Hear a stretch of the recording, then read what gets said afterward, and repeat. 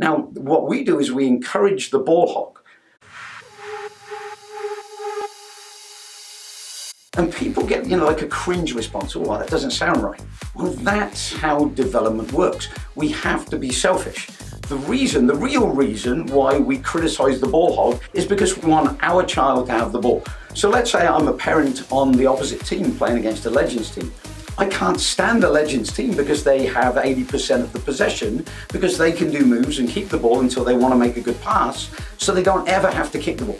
So, you know, I'm really frustrated because while they have possession, my kid doesn't have it. Now, what we do is we encourage the ball hog, but we also realize that there are certain things that in the history of the game that ball hogs have done that are not good for their own development because the amount of skills they're trying to conquer are too wide. So spreading yourself too thin does not work. So what we've done is we've identified six moves.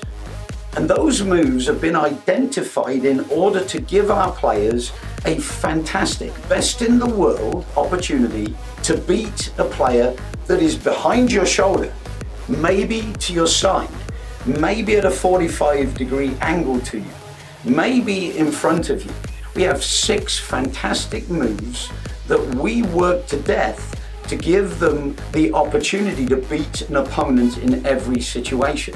Come out on your strong foot and bury the ball.